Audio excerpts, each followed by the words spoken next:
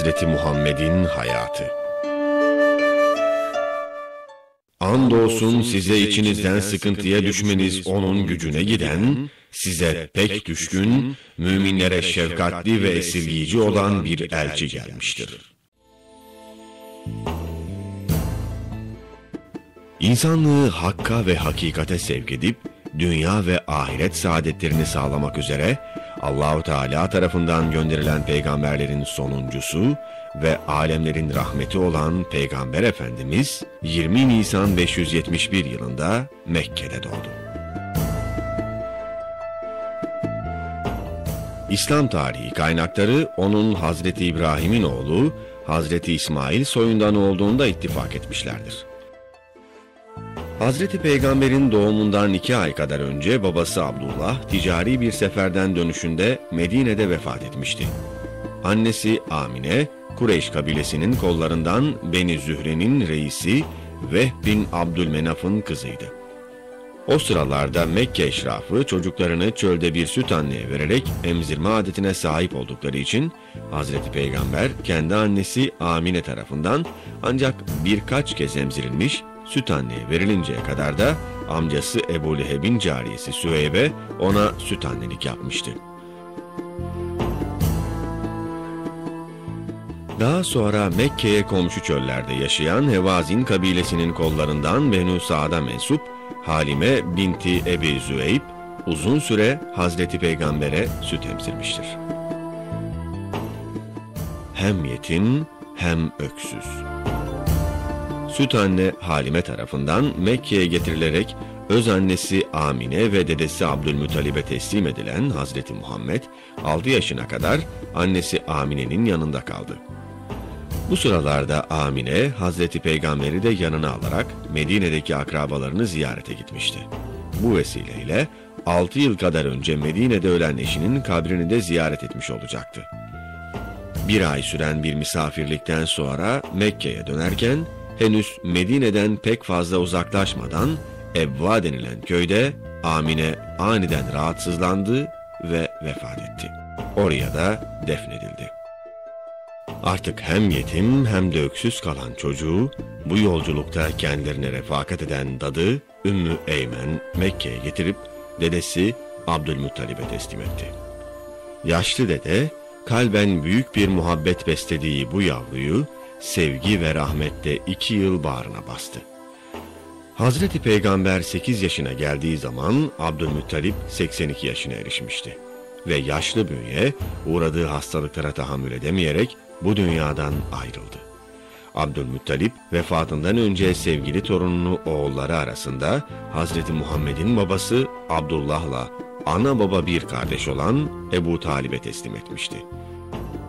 Artık Hazreti Muhammed 8 yaşından 25 yaşına kadar amcası Ebu Talib'in yanında kalmıştır.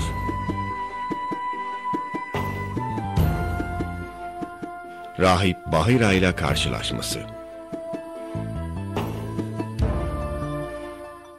Hani Meryem oğlu İsa da, ey İsrailoğulları! Gerçekten ben sizin için Allah'tan gönderilmiş bir elçiyim. Benden önceki Tevrat'ı doğrulayıcı ve benden sonra ismi Ahmet olan bir elçinin de müjdeleyicisiyim demişti. Fakat o, onlara apaçık belgelerle gelince, bu açıkça bir büyüdür dediler. Gelecekte peygamber olacağı hakkında ne kendisinin ne de çevresinin kesin bir bilgisi olmadığından, tabiidir ki Hazreti Peygamber'in bu devrelerdeki hayatı hakkında fazla bilgimiz yoktur. Ancak sadece Hazreti Peygamber'i değil, aynı zamanda diğer Mekkelileri de ilgilendiren bazı olaylarda Hazreti Peygamber'in aldığı yer ve oynadığı rol kaynaklarımızda tespit edilmiştir. Bu devreye ait mevcut bilgiler arasında şüphesiz önemli olanlarından birisi Hazreti Peygamber'in Rahip Bahira ile karşılaşması meselesidir. Hazreti Peygamber 12 yaşlarındayken amcası Ebu Talip ile birlikte Şam'a doğru yol alan ticari bir kervana katılmış ve kafile Şam yakınlarında Büsra adlı bir mevkide mola verdiği zaman buradaki manastırda bulunan Bahira adlı rahip İslam kaynaklarına göre Hazreti Peygamber'deki özelliklere bakarak onun ileride çıkması beklenilen son peygamber olabileceği kanaatine varmıştı. Hazreti Peygamber bu ilk seferin ardından daha sonraki yıllarda diğer amcalarıyla birlikte Mekke dışına yapılan bazı ticari seferlere katılmış, muhtelif bölgelerde yaşayan insanların farklılık arz eden dinleri, örf ve adetleri, hal ve vaziyetleri hakkında bilgi sahibi olmuştur. Hazreti Hatice ile evliliği 25 yaşında bizzat kendisinin idare ettiği bir ticaret kervanı Hazreti Muhammed'i Hazreti Hatice ile karşılaştırdı ve aralarında gerçekleşen evlilik Hazreti Muhammed'in amcası Ebu Talib'in yanından ayrılıp yeni bir aile yuvası kurmasını sağladı. Hazreti Peygamber'in bu evlilik dolayısıyla Hazreti Hatice'den altı çocuğu olmuştu. Bunlardan dördü kız olup Zeynep, Rukiye, Ümmü Gülsüm ve Fatıma adlarını almışlardı. Bunların dördü de babalarının peygamberliğine erişmişler ve ona iman ederek hicret etmişlerdir. Oğulları ise Kasım ve Abdullah adını taşıyordu. Hazreti Peygamber'in ilk oğlunun adı Kasım olduğu için kendisine Ebul Kasım künyesi verilmişti. Bazı kaynaklar bunlardan başka Hazreti Peygamber'in Tayyip ve Tahir adında iki oğlu daha olduğunu zikrederken, diğer bazı kaynaklar bu son iki ismin Abdullah'ın lakabı olduğunu belirtmişlerdir. Hicretten sonra doğan oğlu İbrahim ise Mısırlı cariye Mariye'dendir. Hazreti Peygamber'in bütün erkek çocukları henüz küçük yaşlardayken vefat etmişlerdi.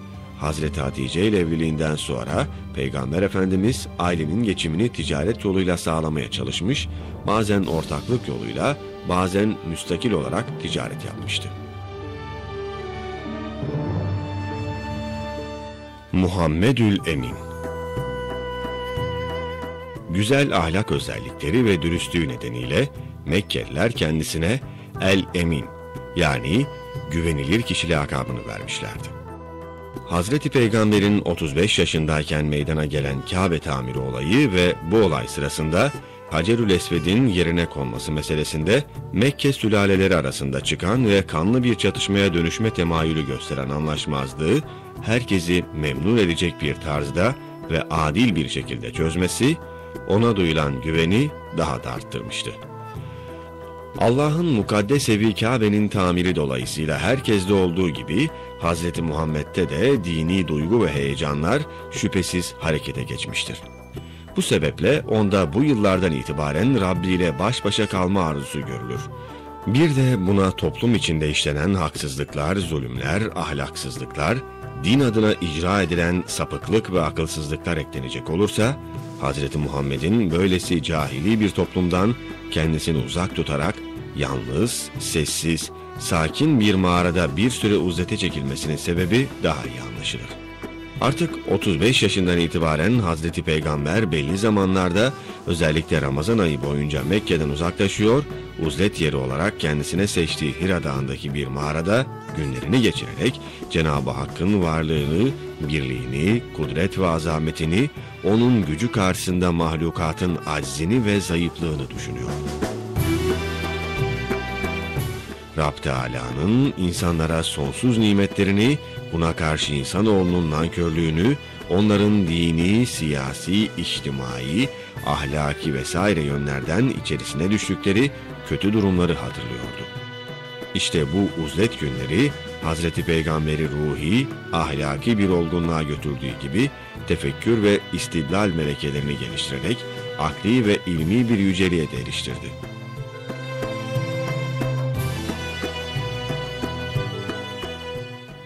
Peygamberliği ve Mekke dönemi. Yaratan Rabbin adıyla oku. O insanı bir alaktan yarattı. Oku, Rabbin en büyük kerem sahibidir. Ki o kalemle yazmayı öğretendir. İnsana bilmediğini öğretti. Böylece kendisine verilecek ilahi risalet görevini üstlenebilecek bir seviye ve vasata geldiği bir sırada 40 yaşındayken yine böyle bir uzlet anında Hira mağarasında Cenab-ı Hakk'ın peygamberlere vahiy getirmekte görevli meleği Cebrail aleyhisselam ona ilk vahiy Alak suresinin ilk beş ayetini getirdi. Artık Allah'ın Resulü insanları hak din olan İslam'a çağırmakla görevliydi.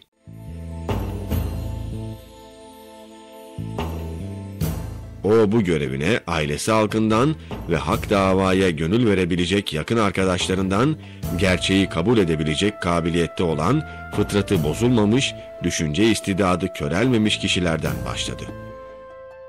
İlk önce onu sevgili eşi Hazreti Hatice tasdik etti. Erkeklerden Hazreti Ebu Bekir, çocuklardan Hazreti Ali, azatlı kölelerden Zeyd bin Harise kendisine ilk iman eden kimselerdendi. Ardından Hazreti Ebu Bekir'in de aracılığıyla Hazreti Osman, Abdurrahman bin Avf, Zübeyir bin el-Avvam, Talha bin Ubeydullah, Sa'd bin Ebi Vakkas, Ebu Ubeyde bin Cerrah, Said bin Zeyd, Abdullah bin Mesud gibi şahsiyetler Müslüman oldular. Hazreti Peygamber ilk üç yıl davetini gizli sürdürdü. Yalnız bu gizlilik İslam'ın esasları ve prensipleri açısından değildi. İslam sır perdeleri arkasında gizli saklı, esrarengiz ve gizemli, anlaşılmaz bir takım düşünceler ve doktrinler ihtiva eden bir din değildi. Onun esasları gayet açık, net, anlaşılır, sade, arı, duru olup akıl ve mantığa da uygundu. Aynı şekilde bu gizlilik İslam'ın sadece belli bir zümreye has bir grup dini oluşundan da değildi. Aksine İslamiyet cihan şumul bir din olup bütün bir beşeriyetin hidayet ve saadetini hedeflemişti.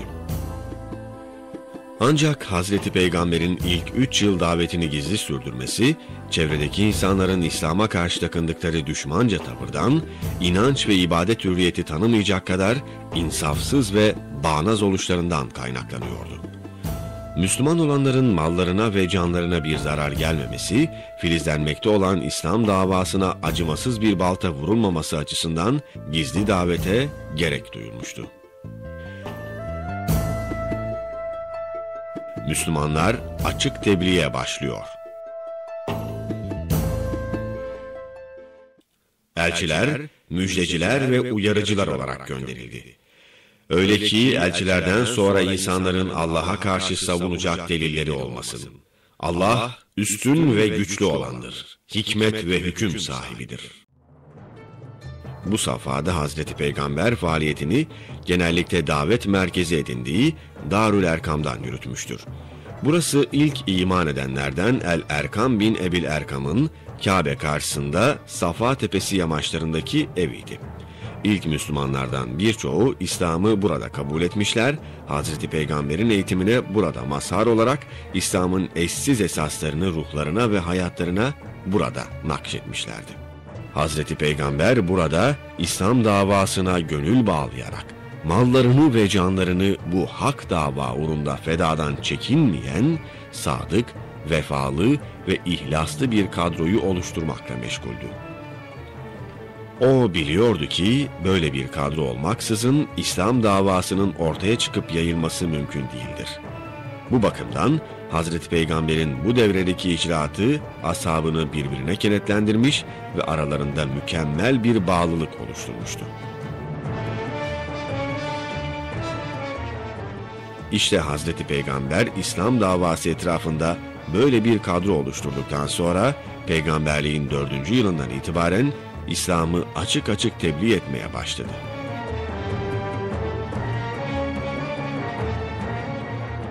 Kureyş müşriklerinin İslam'ı engellemek için başvurdukları çok çeşitli çareler, Hazreti Peygamber'e ve İslam'a samimiyetle bağlı kadro elemanlarına engel olamıyordu. Bu arada Mekke müşrikleri özellikle korunmasız Müslümanlara insaf ve vicdana sığmayan eziyet ve işkencelerde bulundular.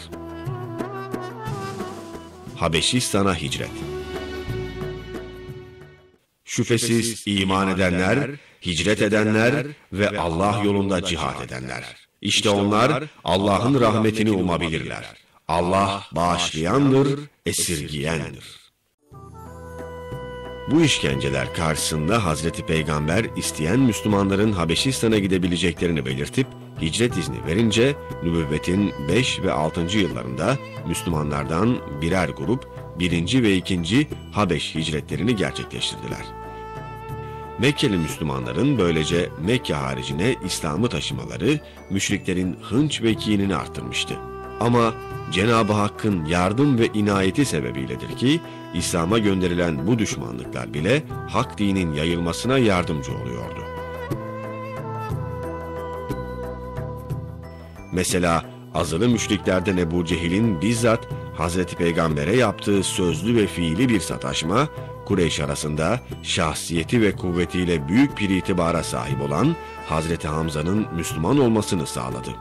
Ardından Mekke İdare Meclisi Darun Nedve'de alınan Hazreti Peygamber'i öldürme kararını uygulamak için harekete geçen güçlü şahsiyet Ömer bin el-Hattab Hazreti Peygamber'i öldürmek üzere onu ararken aslında ayakları onu hidayete sevk ediyor ve Ömer'in gücü İslam saflarına yeni bir heyecan ve şevk katıyordu.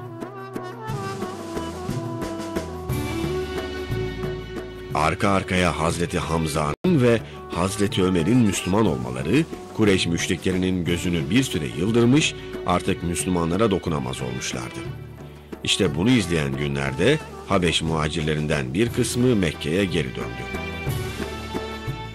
Ancak bu sırada müşrikler yeniden şiddete başlayıp cehalet ve bağnazlıkla bağlandıkları ata dinlerini zulme dayalı olduğu için İslam'ın ortadan kaldıracağı şahsi çıkar ve menfaatlerini batıl tahakküm ve zorbalıklarını kurtarabilmek için akıl almaz çarelere başvurmuşlardı. Bu türden olmak üzere hem Müslümanlar hem de Müslümanları koruyan Haşimoğulları peygamberliğin 7. senesiyle 10. senesi arasında tam 3 yıl devam eden bir boykot ve muhasaraya maruz kaldılar. Mekkeliler ne Müslümanlarla ne de onları koruyan Haşimoğullarıyla hiçbir münasebette bulunmayacaklarına, her türlü ilişkiyi keseceklerine, onlarla hiçbir şekilde alışverişte bulunmayacaklarına, oturup kalkmayacaklarına, kız alıp vermeyeceklerine dair bir karar almış, bu kararı yazdıkları sayfayı Kabe'nin iç duvarına asarak dini bir hüviyette vermişlerdi. Bu karara muhalefet eden hem vatana hem de dine ihanet etmiş sayılacak ve en ağır şekilde cezalandırılacaktı. Mekkeliler tarafından 3 yıl süreyle ve titizlikle uygulanan bu karar elbette Müslümanlara sıkıntılı, güç günler yaşatmıştır. Peygamberliğin 10. yılında bu karar iptal edilip boykot ve muhasara kaldırıldığı vakit Müslümanlar pek ziyade sevinme imkanı bulamadılar. Çünkü çok geçmeden Hazreti Peygamber iki büyük yakınını amcası Ebu Talib'i ve eşi Hazreti Hatice'yi üç gün arayla ardı ardına kaybetti. Resulullah'ın üzüntüsüne Müslümanlar da katıldılar ve bu seneye hüzün yılı adını verdiler.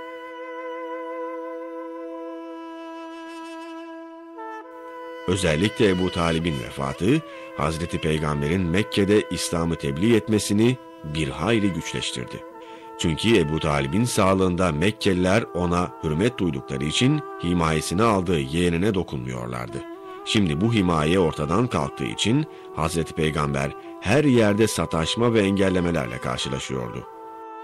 Böyle bir ortamda İslam'ı tebliğ etmek adeta imkansız hale geldiğinden Hazreti Peygamber İslam'ı kabullenecek yeni bir kitle aramaya başladı. Bu sebeple de azatlı kölesi Zeyd bin Harise ile birlikte bir gün gizlice Taif'e gitti. Ancak dolaylı akrabalarından olan reislerinden gördüğü alaylı ve acımasız muamele Hazreti Muhammed'in derhal Mekke'ye geri dönmesini gerekli kıldı. Hazreti Peygamber şehirden gizlice çıkmıştı.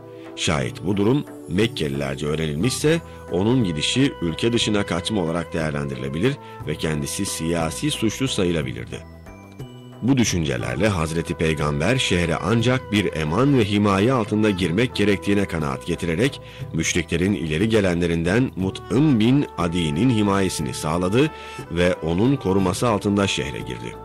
Yıllar boyu Mekkelilerin İslam'a karşı gösterdiği kin, düşmanlık ve engellemeler 3 yıl süreyle devam eden ve insafsızca uygulanan toplumdan dışlanma ve muhasara olayı ardından Ebu Talib'in ve Hazreti Hatice'nin vefatları dolayısıyla Hazreti Peygamber'in himayesiz kalması ve Mekkelilerin sataşmalarına maruz kalması bunu takiben de Taif halkının horlayıcı tavrı her ne kadar Allah Resulü'nün ümit ve azmini kıramamış, davet, şevk ve iştiyakını azaltmamışsa da şüphesiz bir beşer olarak onu üzmüş ve rencide etmişti. Miraç Mucizesi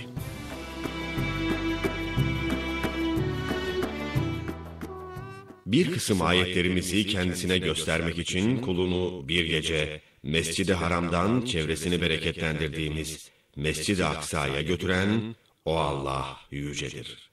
Gerçekten o işitendir, görendir. İşte böyle bir durumda Hazreti Peygamber'i sevindirecek ve Kur'an'dan sonra en büyük mucizelerden biri olan bir mucize meydana geldi. Cenab-ı Hak, Resulünü teselli etmek, bunca gördüğü düşmanlıklara rağmen gösterdiği sabır ve sebat dolayısıyla onu taltif edip lütuf ve ikramda bulunmak üzere katına çağırdı ve Hazreti Peygamber'in İsra ve Miraç mucizesi gerçekleşti. Bir gece vakti Hazreti Peygamber bir an ifade edilebilecek çok kısa bir zaman dilimi içinde önce Mekke'den Kudüs'e gitti, oradan da göklere yükselerek Rabbinin huzuruna çıktı. Dünya ötesi alemi cennet ve cehennemi müşahede etti. Böylece ruhen takviye görmüş, Rabbi tarafından mükafatlandırılmış olarak tekrar aynı anda Mekke'ye döndü. Bu olaydan sonra Hazreti Peygamber sallallahu aleyhi ve sellem İslam'ı tebliğine yine devam ediyordu. Fakat İslam'ın kitlesi olacak zümreyi arayışı genellikle Mekke'ye dış kabilelerden hac, umre veya ticaret gibi maksatlarla gelen yabancılar arasında oluyordu. Önceleri bu teşebbüsü bazen olaylı, bazen sert, nazik veya mütereddit ama hep menfi bir tavırla karşılanıyordu. Ancak nübüvvetin 11. senesinde Medine'nin Hazreç kabilesinden 6 kişi Akabe adı verilen yerde Hazreti Peygamberle karşılaşıp kısa bir görüşmeden sonra ona iman ettiler. Bu altı Medineli şehirlerine dönüşte Hazreç ve Evs kabileleri arasında İslam'ı yaydılar. Ertesi senenin hac mevsiminde ikisi Evsli, onu Hazreçli, 12 kişilik bir heyet yine Akabe'de Hazreti Peygamberle buluşup ona beyat ettiler. Birinci Akabe beyatı olarak tarihlere geçen bu görüşmenin akabinde Hazreti Peygamber İslam kadrosunun ilk elemanlarından Mus'ab bin Umeyr'i davetçi olarak Medine'ye gönderiyordu. Musab'ın Medine'de bir yıl süreyle yaptığı faaliyet öylesine verimli olmuştu ki İslam'ın bahsedilmediği ve girmediği bir ev hemen hemen kalmamıştı. Ve Medineliler Allah Resulü'nü şehirlerine buyur edip onu koruma konusunda her tehlikeyi göze alacak bir kıvama erişmişlerdi. Peygamberliğin 13. yılında Medine'den gelen daha kalabalık bir heyet Akabe'de Hazreti Peygamberle bir gece vakti gizlice buluşup ikinci Akabe beyatını gerçekleştiriyor ve şehirlerine göç ettiği takdirde Hazreti Peygamberi ve Mekkeli Müslümanları malları ve canlarını korudukları gibi koruyacaklarına and içiyorlardı. İşte bu ant ve karşılıklı söz vermelere İslam tarihinde Akabe beyatları adı verilmiştir. Hicret ve İslam daveti Allah yolunda hicret eden, yeryüzünde barınacak çok yerde bulur, genişlik ve bollukta. Allah'a ve Resulüne hicret etmek üzere evinden çıkan, sonra kendisine ölüm gelen kişinin ecri şüphesiz Allah'a düşmüştür. Allah bağışlayıcıdır, esirgeyicidir. Mekkeliler bu görüşmeleri haber aldıkları zaman başlatılan yeni baskılar Müslümanlara hicret kapılarını açtı. Hazreti Peygamber'in izniyle ashab-ı kiram gruplar halinde ve çoğunlukla gizlice şehri terk edip Medine yolunu tuttular. Artık şehirde Hazreti Peygamber ve ailesi, Hazreti Ali, Hazreti Ebu Bekir ve ailesiyle hicrete imkan bulamamış olanlarla yakınları ve akrabaları tarafından hicretleri engellenmiş kimseler kalmıştı. Müslümanların Medine'de toplanarak zinde bir güç oluşturmaları Mekkelileri ürküten ve korkutan bir husus olmuştu. Bugünlerde sık sık olağanüstü toplantılar yapan müşrikler gizli bir celsede karşılaşılan bu zor problemi çözme yollarını aradılar. Yegane kurtuluş yolu olarak Hz. Muhammed'in öldürülmesi görüldü. Kararlaştırılan komplonun icrası için hazırlıklar yapılırken Cebrail aleyhisselam vasıtasıyla durumdan haberdar olan Hazreti Peygamber de hicret için hazırlığa koyuldu. ve hicrette kendisine yol arkadaşlığı yapacak Hazreti Ebu Bekir'le önceden hazırladığı plan gereğince geceliğin Mekke'yi terk etti. Uzun ve zaman zaman tehlikeli geçen yorucu bir yolculuktan sonra 8 Rebülevvel pazartesi günü Medine'nin banliyösü Kuba köyüne geldiği zaman Ensar ve Muhacirun'un onu karşılaması son derece heyecanlı ve içten olmuştu. Hazreti Peygamber bu köy halkının ricası üzerine burada beş gün istirahat etti ve bu kısa istirahatı sırasında bil fiil kendisi de çalışarak bir mescit inşa ettirdi. Kuba'ya gelişinin beşinci günü sabahleyin buradan ayrılarak Medine şehrine yöneldi. Günlerden cumaydı. Öğle vakti Ranuna adlı mevkiye gelindiği vakit Hazreti Peygamber burada durdu. İlk cuma hutbesini irad etti ve ardından ilk cuma namazını kıldırdı. Sonra yoluna devam etti. Şehirde bir bayram havası vardı. Büyük küçük herkes yollara dökülmüş, coşkun bir tezahürat, sevgi ve saygıyla Hazreti Peygamber'i karşılıyor, şehirlerine ve evlerine buyur ediyorlardı. Hazreti Peygamber hiç kimsenin davetini reddetmiş olmamak ve hiç kimseyi kırmamak için uygun bir çare buldu ve üzerinde hicret ettiği devesi Kasva kendi haline bırakıldı. Devenin çöktüğü yere en yakın evde Hazreti Peygamber misafir olacaktı. Deve, şehrin orta tarafında iki yetim çocuğa ait boş bir arsada çöktü ve Hazreti Peygamber kendisine ait hane-i saadetleri inşa edilinceye kadar buraya evi en yakın olan Ebu Eyyub Halit bin Zeyd el-Ensari Hazretlerinin evinde misafir kaldı. Allah'ın Resulü Medine'de Öne geçen muhacirler ve ensarla onlara güzellikle uyanlar. Allah onlardan hoşnut olmuştur. Onlar da ondan hoşnut olmuşlardır. Ve Allah onlara içinde ebedi kalacakları altından ırmaklar akan cennetler hazırlamıştır. İşte büyük kurtuluş ve mutluluk budur. Böylece Hazreti Peygamber'in hayatında ve davet faaliyetinde yeni bir dönem, Medine dönemi başlamış oluyordu. Medine'de Hazreti Peygamber İslam'a kucak açmış büyük bir kitleye kavuşmuştu. İslam'ın bağımsızlığı ve hakimiyetini ilan edeceği bir vatana da sahipti. Artık yapılacak şey bu vatan satında İslam cemaatini teşkilatlandırmak, insanların birbirleriyle olan münasebetlerini hak ölçüleri içerisinde düzenlemek ve hakkın hakimiyetini sağlayarak etrafa yaymaktı. Bunun için de bir devlete ihtiyaç vardı. Peygamber Efendimiz bu ihtiyacı gayet iyi bildiğinden artık Medine'ye hicretin ilk günlerinden itibaren onun davet merhaleleri arasında devletleşme diye adlandırdığımız safayı gerçekleştirmek üzere çaba sarf etti. Kuruluş günlerini yaşayan İslam Devleti'nin idare merkezi, hükümet binası, harp karargahı vesaire gibi çok önemli hizmetler verecek olan mescidi inşa etti. Mescide bitişik olarak bina edilen Suffa, İslam cemaatinin bütün İslami meselelerde eğitildiği ve gerekli bilgilerin öğretildiği önemli bir eğitim, öğretim müessesesi oldu. Bu sıralarda okunmaya başlanan ezan, sadece namaz vaktinin geldiğini bildiren bir ilan değil, aynı zamanda İslam hakimiyetini aleme haykıran bir sembol ve şiardı komşu devletlerle münasebetlerin tanzimi için henüz Hicri 1. senede ilk sınır tespiti gerçekleştirilmiş ve bu sınırlar içerisindeki Müslümanların gücünü belirleme açısından Hazreti Peygamber'in emri üzerine nüfus sayımı yapılmıştı. Ensardan bir kişiyle muhacirundan bir kişinin bir araya getirilerek İslam topluluğunun ikişer ikişer kardeşleştirilmesi ameliyesi demek olan muahat, başka birçok faydaları yanı sıra İslam devletinin asıl unsurunu oluşturan Müslümanlar arasında tam bir kaynaşma ve dayanışma sağlıyordu.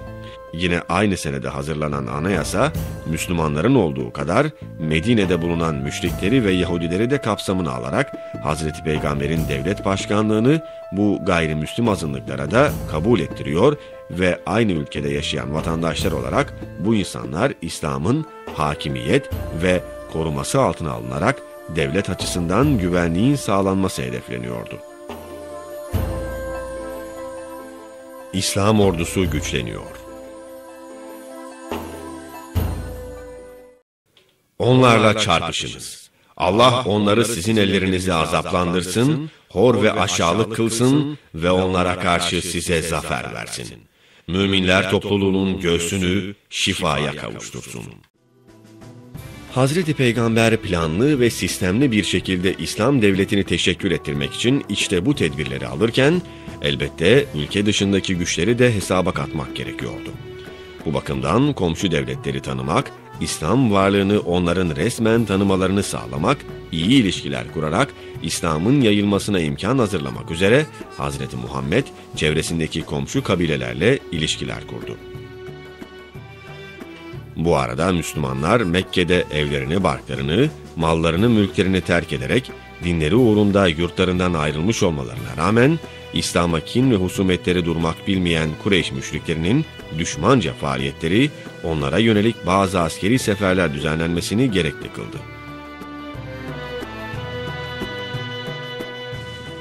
Hazreti Peygamber'in hicretinden sonra Kureyş ileri gelenleri Medine'deki Yahudi ve münafık reislerine mektuplar ve haberler göndererek onları İslam'a karşı kışkırtıyor, kendileriyle işbirliğine çağırıyor, ayrıca kendilerine yardımcı olmadıkları takdirde sadece Müslümanları yok etmekte kalmayacakları, onları yataklık ettikleri için gayrimüslim de olsa Medine'deki herkesi cezalandıracakları tehdidini savuruyorlardı.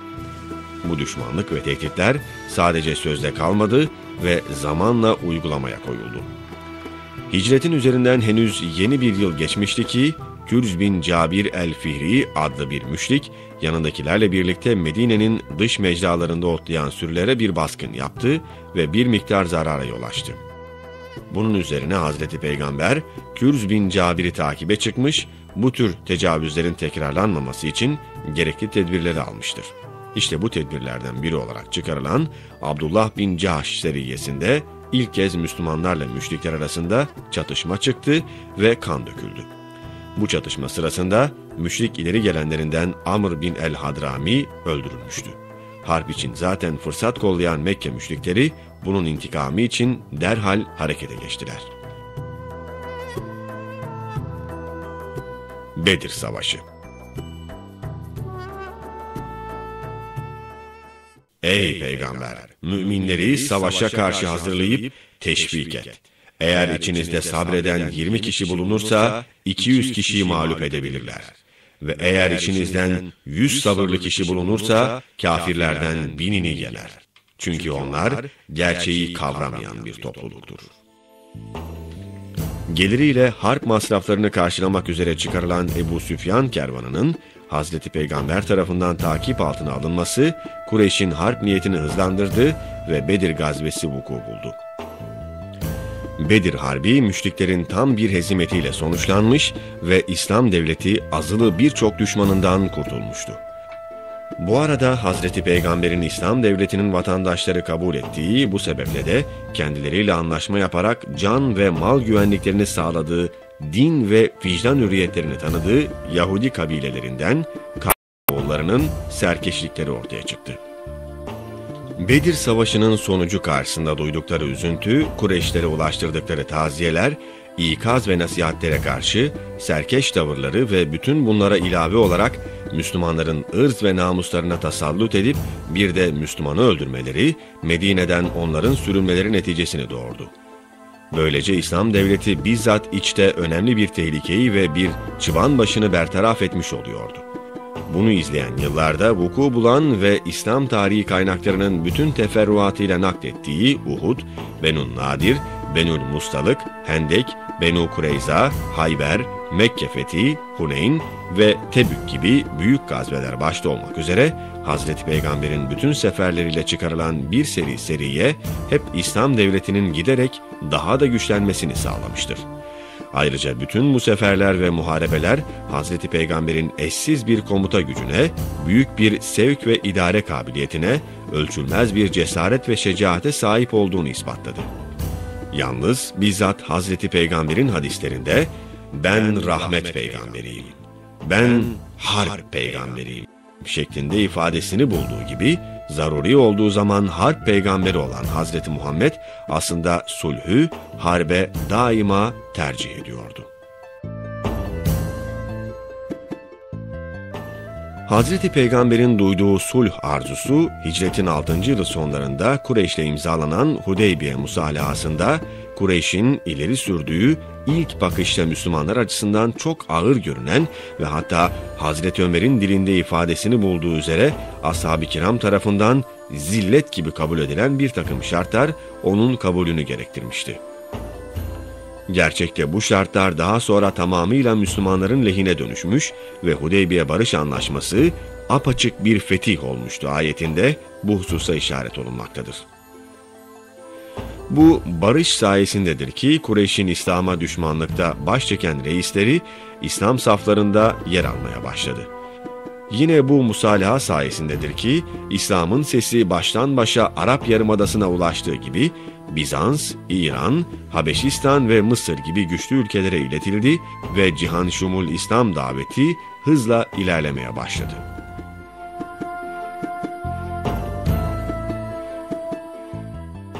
Mekke'nin fethi Fitne kalmayıncaya ve dinin hepsi Allah'ın oluncaya kadar onlarla savaşın. Şayet vazgeçecek olurlarsa, şüphesiz Allah yaptıklarını görendir. Hicretin 8. senesinde Mekke'nin fethedilmiş olması ve Mekke halkının tamamıyla İslamiyet'i kabul etmeleri sebebiyle Müslümanlara hac etme imkanı doğmuştu. Ancak Arap Yarımadası'nda hala mevcut müşrik Araplarda kutsal bir ibadet sayarak Mekke'ye hac yapmaya geleceklerinden ve hac sırasında cahiliye adetlerine irtikap edeceklerinden Hazreti Peygamber müşriklerle bir arada bizzat kendisi hac yapmayı uygun bulmadı. Fakat hac etmek isteyenlere de engel olmayarak başlarına Hazreti Ebu Bekir'i hac emiri tayin etti. İşte böylece hicretin 9. yılı hac mevsiminde bazı sahabiler hac etmek üzere Medine'den yola çıkmışlardı ki Hazreti Peygamber'e Tevbe suresinin ilk 36 ayeti nazil oldu. Bu ayetler müşriklere verilecek bir ultimatom ve notayı ihtiva ediyor. Bundan böyle hac içinde olsa hiçbir gayrimüslimin Mekke harem bölgesine giremeyeceği, İslam devletiyle antlaşması bulunan müşriklerle münasebetlerin antlaşma süresi dolunca yeni bir antlaşma cihetine gidilmeyeceği ve bu durumdaki kabilelerin ya Müslüman olmak ya da İslam'a düşmanlığı kabul etmek şıklarından birisiyle karşı karşıya kalacakları, antlaşması olmayan veya süresinden evvel antlaşmayı bozmuş olan müşrik Araplara ise dört aylık bir mühletin verildiği, bu mühletin sonunda bu kabilelerin de ya Müslüman olmayı ya da İslam'a düşmanlığı kabul durumunda olacakları hükümlerini getiriyordu. İşte bu hükümler yapılan hac sırasında Arap Yarımadası'nın muhtelif yerlerinden hac etmeye gelmiş farklı kabilelere mensup müşrik Araplara Hazreti Peygamber'in görevlendirdiği Hazreti Ali tarafından tebliğ edildi. Bu ultimatumu alan müşrik Araplar hac sonrasında memleketlerine döndükleri zaman tüm kabile mensuplarıyla bir durum değerlendirmesi yaptılar ve bu sıralarda Hazreti Peygamber'in gönderdiği İslam'ı tebliğ eden gruplara ve görevlilere İslam'ı kabul ettiklerini bildirerek İslam devletinin hakimiyetine girdiler. Böylece Hazreti Peygamber hicretin 10. senesinde İslam dinini ve İslam hakimiyetini baştan başa tüm Arap Yarımadası'na ulaştırmış, görevini layıkıyla yerine getirmiş oluyordu. Tamamlanan İslam İnkılabı ve Peygamberimizin vefatı. Bugün size dininizi kemale erdirdim. Üzerinizdeki nimetimi tamamladım ve size din olarak İslam'ı seçip beğendim. Zamana ve zemine uygun bir şekilde nerede nasıl hareket edeceğini gayet mükemmel hesap eden ve planlı bir strateji uygulayan Hz. Muhammed, 23 yıl gibi kısa bir sürede tarihte eşine rastlanılmayacak büyük bir inkılabı gerçekleştirmişti. 40 yaşında peygamberlik görevine başladığı zaman yapayalnızdı. Maddi imkanları yoktu. Buna mukabil mücadeleye giriştiği toplum tasavvur edilebilecek en aşağı seviyede bulunuyordu. Müşriklerin inanç ve ibadetleri son derece mantıksız ve gülünçtü. Ahlak telakkileri müptezeldi. Hak, adalet anlayışları zulmün göstergesiydi. Menfaatler her şeyin üstünde tutuluyordu. Böyle bir ortamda Hazreti Peygamber'in yılmadan, yorulmadan, büyük bir azim ve iştiyakla yürüttüğü İslam daveti 23 senede öyle bir sonuç verdi ki artık o dönemden asr-ı saadet saadet asrı diye bahsetmek gerekecekti. Hazreti Peygamber gerçekleştirdiği bu büyük inkılabın heyecanı ve görevini layıkıyla yapmış olmanın huzur ve mutluluğu içerisinde kendisine iman edenleri Hicri 10. senenin hac mevsiminde hac yapmak üzere Mekke'de topladığı zaman genellikle kabul edildiğine göre etrafında 114 bin sahabi vardı. Bu hac, Hazreti Peygamber'in son hacı olduğu için ve yaptıkları konuşmalarında bir bakıma ashabına veda ettiğinden veda haccı diye adlandırılmıştır. Hazreti Peygamber veda hacından Medine'ye döndükten sonra Üsame bin Zeyd komutasında bir orduyu Bizans üzerine sevk etmeye niyetlendi ve genç komutanını çağırarak gerekli talimatı verdi. Ancak ordunun sefer hazırlıkları yapılırken Hazreti Peygamber'in başlayan rahatsızlığı gün geçtikçe şiddetlendi ve onu bitap bir şekilde yatağa düşürdü. Hastalığının ilk günlerinde namaz vakti olduğu zaman mescide çıkıp asabına namaz kıldırıyordu. Ama 8 Rebü'l-Evvel Perşembe günü akşam üzeri geçirdiği bir baygınlıktan sonra o günün yatsı namazından itibaren imamlık Hazreti Peygamber'in emriyle Hazreti Ebu Bekir'e havale edildi. Hicri 11. yılın 12 Rebü'l-Evvel pazartesi günü kuşluk vaktinde de kelime-i tevhid getirerek Rabbine kavuştu. Hazreti Peygamber'in cenazesinin hazırlanması, yıkanması, kefenlenmesi işlerini Hazreti Ali, Hazreti Abbas, Abbas'ın oğlu Fazıl, Üsame bin Zeyd gibi yakınları yerine getirdi. Peygamberlerin vefat ettikleri yerde defnolunacaklarına dair Hazreti Ebu Bekir'in rivayet ettiği bir hadis dolayısıyla Hazreti Peygamber'in vefat ettiği Hazreti Ayşe'nin odasında bir kabir kazıldı. Bu arada ashab-ı kiram grup grup gelerek Resul-i Ekrem için cenaze namazı kıldırdılar. O da küçük olduğundan cemaatler halinde kılınan cenaze namazı bir hayli uzun sürmüştü. Bu sebeple Hazreti Peygamber'in naaşı ancak çarşamba günü gece vakti kabre indirilebildi. Peygamber Efendimiz vefat ettiklerinde 63 yaşındaydı. Resulullah'ın vefatını duyan Hazreti Ebu Bekir, mescidin önüne geldiğinde Ömer hala halka bir şeyler söylüyordu. O bunları aldırmaksızın doğruca Resulullah'ın bulunduğu odaya girdi. Üzerindeki örtüyü kaldırarak şöyle dedi. Babam ve anam yoluna feda olsun ya Resulullah. Ölümünde de diriyken olduğu gibi ne kadar güzel ve temizsin. Senin ölümünle hiçbir peygamberin ölümüyle kesilmemiş olan peygamberlik son bulmuştur. Hazreti Ebu Bekir daha sonra Resulullah'ın naaşının başından ayrıldı, dışarı çıkarak halka şöyle hitap etmişti. Şehadet ederim ki Allah birdir. Ondan başka ilah yoktur. Onun hiçbir ortağı yoktur. Yine şehadet ederim ki Muhammed onun kulu ve Resulüdür. Yine şehadet ederim ki Kur'an nazil olduğu, din meşru kılındığı, hadis irad edildiği, söz söylendiği gibi mahfuzdur. Allah apaçık bir hakikattir. Sonra da şöyle dedi. Ey Nas! Muhammed'e kulluk eden var idiyse bilsin ki Muhammed muhakkak ölmüştür. Allah'a tapanlara gelince şüphesiz Allah diridir, ebediyen bakidir.''